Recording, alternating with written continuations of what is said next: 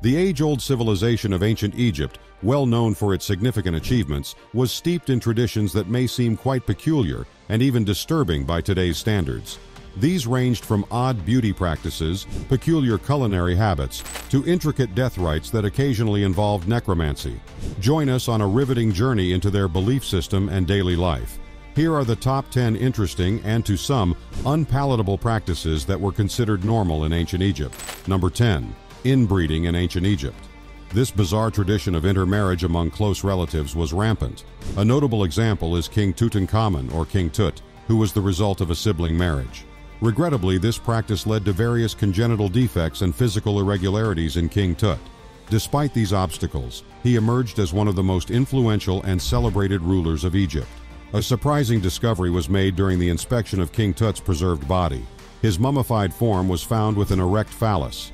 A 2014 study offered a rather disturbing reason for this unique phenomenon. It was suggested that this burial method was used to suppress a religious uprising initiated by his own father. Further inquiry revealed the symbolic meaning behind King Tut's burial pose. He was intentionally positioned this way to mirror Osiris, the revered god linked with the afterlife. By mimicking Osiris's appearance, King Tut's burial was thought to guarantee his smooth passage into the divine world, ensuring his eternal life. While these practices may be uncomfortable to contemplate, it's important to remember that they were deeply rooted in the cultural beliefs and customs of ancient Egypt. Their societal norms regarding kinship and religious symbolism may seem confusing to us today.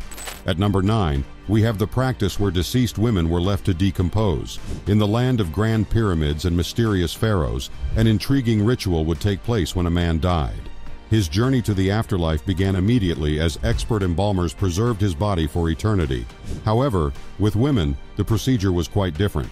By law, the deceased women of influence were left unattended by embalmers until their bodies had decomposed for three to four days. Why this practice? It's a story of trust and fear that might make your skin crawl. Ancient Egypt faced a significant challenge. Trust was rare, especially when it involved the dead's sanctity. The Egyptians had a hard lesson. Embalmers couldn't control their desire for the departed women. Indeed, those responsible for the holy task of preserving the dead failed to respect the bodies. The audacity is hard to fathom. Legend tells us that a diligent co-worker stumbled upon a shocking scene. An embalmer engaged in inappropriate acts while preparing a royal body. The horrified co-worker reported the desecration, resulting in a public scandal that sent shockwaves through the kingdom.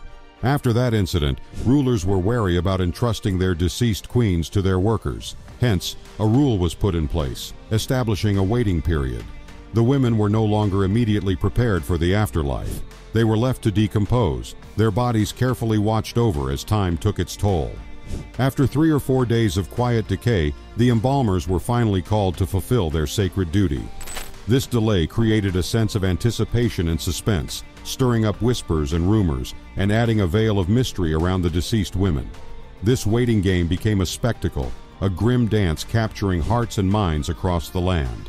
This tale of Egyptian embalming, intertwined with trust, suspicion, tradition, and fear, still echoes through history, reminding us that even in death, the custodians of eternity can be corrupted by earthly desires. At number 8, we have the Fertility Festival.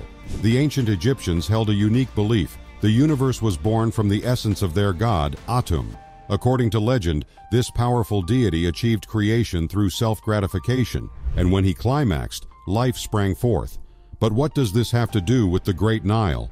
The Nile, Egypt's life-giving river, was believed to be connected to Atum's divine release.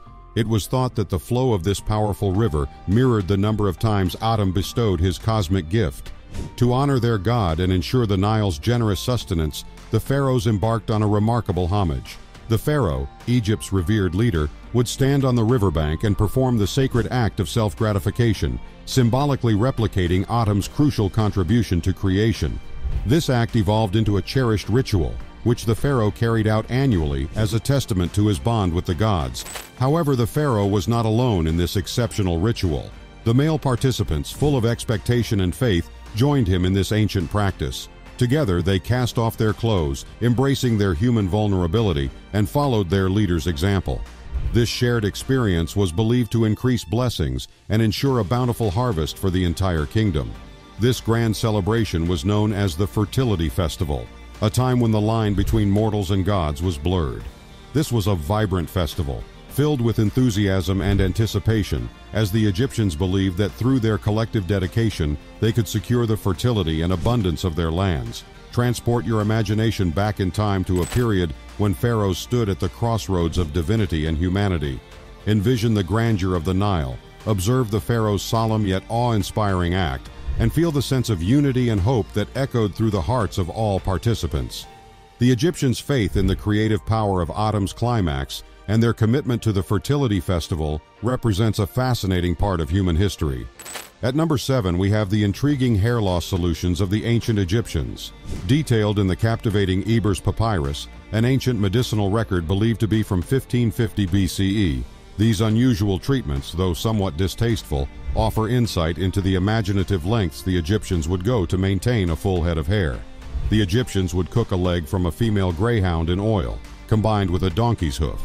The resulting concoction would then be applied to their scalps in the hopes of promoting hair growth. Prior to this, the ingenious Egyptians sought the aid of their sun god, reciting a magical charm while drinking a peculiar beverage composed of a mix of onions, red lead, iron, alabaster, and honey. Moreover, they attempted to stimulate hair growth by massaging the fat from various animals, such as hippos, lions, ibexes, crocodiles, serpents, tomcats, and geese onto their scalps. Despite the likely unpleasant smell, the Egyptians remained undeterred. If these exotic remedies failed, they turned to alternative solutions, such as wigs and fake beards, to uphold their desired aesthetic, avoiding reliance on their unique treatments. The peculiar methods used by ancient Egyptians to combat hair loss, though seemingly revolting by contemporary standards, showcase their determination and resourcefulness in pursuit of lush, full hair. At number six is the ancient Egyptian punishment for criminals. Ancient Egyptians held a strong fascination with the afterlife and revered their sun god. Any disrespect towards the deity was seen as a grave offense. Serious transgressions were rare, but the worst act one could commit was to offend the sun god. Those who dared to rob or vandalize a temple, utter disrespectful words towards the god, or engage in any offensive action would face the severe punishment of being burned alive. This gruesome punishment was solely for severe offenders and involved a ritualistic human sacrifice where the offender was offered to the gods. The act of burning a person alive symbolized total destruction of their spiritual vessel, resulting in the denial of their opportunity to progress to the afterlife, a concept cherished by the ancient Egyptians. From our modern perspective, the idea of inflicting such a cruel fate on another person is deeply disturbing. However, it is critical to understand the cultural and religious beliefs that guided the ancient Egyptian sense of justice. At number five is the peculiar trend of voluntary baldness in ancient Egypt. Lice infestations were widespread in ancient Egypt, even within the tombs of Egyptian rulers. Frustrated with this widespread problem, both men and women chose to shave off all their hair. Wigs were often worn by women as a convenient alternative, as they could easily be discarded and replaced when infested with lice. Some individuals even shaved their entire bodies to avoid lice-related issues. While this practice might seem revolting today, it was a practical approach given the circumstances. Their decision to go bald was driven not by aesthetics, but by the necessity of getting rid of persistent lice infestations. At number four, we have the ancient practice of catcalling. Even during religious festivals, when communities gathered for spiritual unity, Egyptian men couldn't resist indulging in this detestable behavior. The Greek historian Herodotus witnessed such an event when men would ferry their families to the sacred city of Bubastis. As they sailed through towns along the river, these men would shamelessly catcall and harass women. Herodotus described how these men would shout loudly, make rude comments, and even expose themselves by lifting their garments. This behavior illustrates the deeply ingrained nature of catcalling and the historical trend of men objectifying women in public spaces, disregarding their dignity and consent. Even though our modern society has made progress in recognizing and challenging such behavior, we must continue our efforts to eradicate this disrespectful and degrading practice. It's disheartening to realize that women in ancient Egypt had to endure such vulgar treatment, even during religious festivities. Number three is the laxative regimen of the ancient Egyptian nobility. Despite their often full-figured representations, Egyptian royals harbored fears of overeating. The standard of male beauty at the time leaned towards lean and fit physiques. To help achieve this ideal, they would use a method that might seem unsavory to us today. Once a month, they would ingest a natural laxative made from castor oil, which gently stimulated their digestive systems. After consuming this concoction, they would then brace themselves for a day dedicated to the toilet. It is important to point out that the advanced concept of plumbing didn't exist back then, leading the royals to manually handle the resulting cleanup. The royal class often used these laxatives to relieve various body discomforts, and they didn't shy away from this method even when faced with diarrhea. Their approach was simple expel the illness quickly and efficiently. While this practice may seem distasteful to us, it underscores the ancient Egyptians' commitment to health and beauty ideals and provides a unique insight into their cultural practices. Number two is mummy powder. This peculiar tradition, which may seem shocking today, involved the use of mummy powder made from ground-up mummified remains. This practice wasn't limited to Egypt, but peaked in Europe during the Middle Ages, persisting well into the 16th and 17th centuries. Despite its off-putting nature, mummy powder was believed to possess remarkable healing properties and was used as a medicinal remedy.